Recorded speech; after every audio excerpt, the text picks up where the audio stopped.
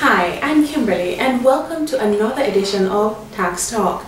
Today we will be exploring the newly implemented Minimum Business Tax or MBT.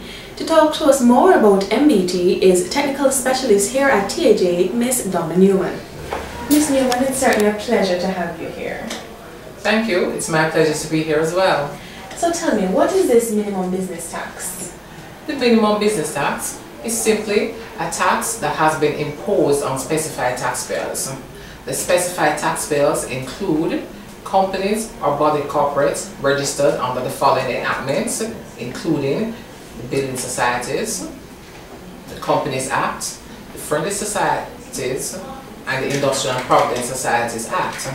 Also, an individual with gross revenue of 3 million or more will be eligible to pay the minimum business tax. Is this minimum business tax applicable to all businesses and individuals? No.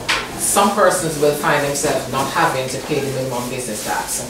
A registered charity will not pay the minimum business tax. And any individual in business with income of less than 3 million, that is gross revenue of less than 3 million, will not be paying the minimum business tax.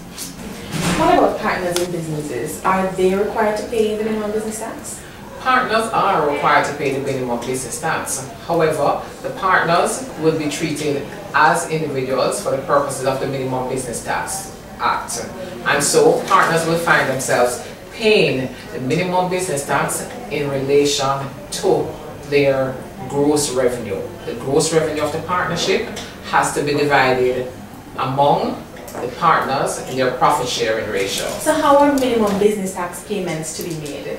The minimum business tax payments are due in two quarterly installments. The first payment was due on the 15th of June 2014 and the second installment of 30,000 is due on the 15th of September 2014.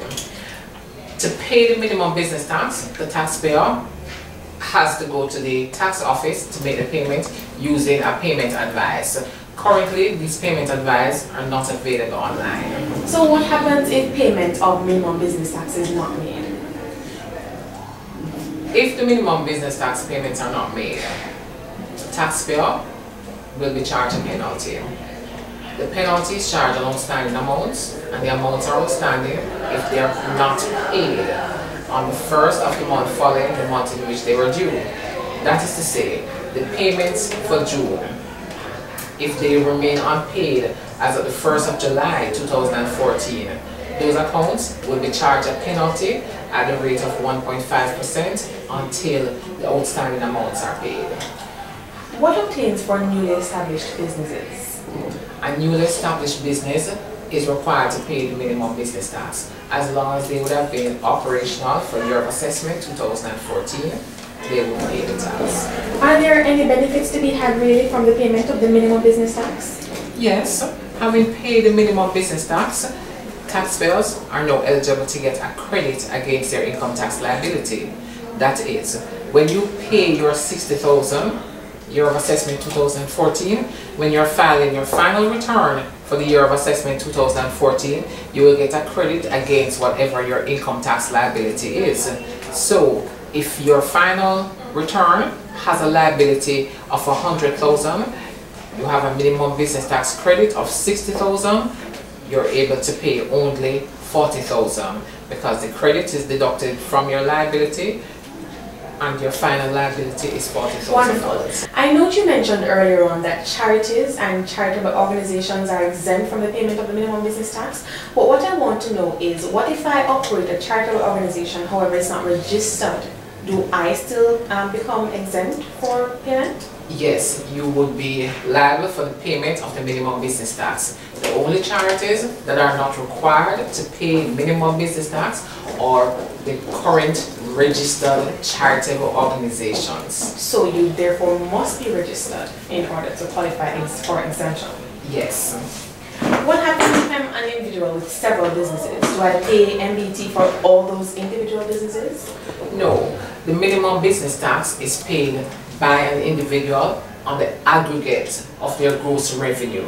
So if you have, say, three business operation, three different sources. If the aggregate of your business income from the three sources is 3 million or more, then you will be liable to pay the minimum business tax and it's just one payment per individual. Right, and I'm sure many persons are curious. We, I understand the benefit you've explained for the payment of minimum business tax on the part of the taxpayers, but how does it benefit the government? Well, for the government, it allows for the broadening of the tax net and for increased revenue so flows. Is there anything else you'd like to add? Well, just to add that the minimum business tax is not a tax on income. And a reminder that individuals with gross revenue of less than $3 million will not be required to pay the minimum business tax. And for companies, some persons have been asking, dormant companies, loss-making companies, they are all required to pay the minimum business tax. Okay, thank you so much, Mr. Newman, for sharing such valuable information with us here today. You're welcome, and as I've said, it's my pleasure to be here. Thank you so much for joining us for another edition of Tax Talk. We hope you found the information shared to be very useful. Don't forget to join us again next time for much more useful information. And please remember to like, comment, share and subscribe.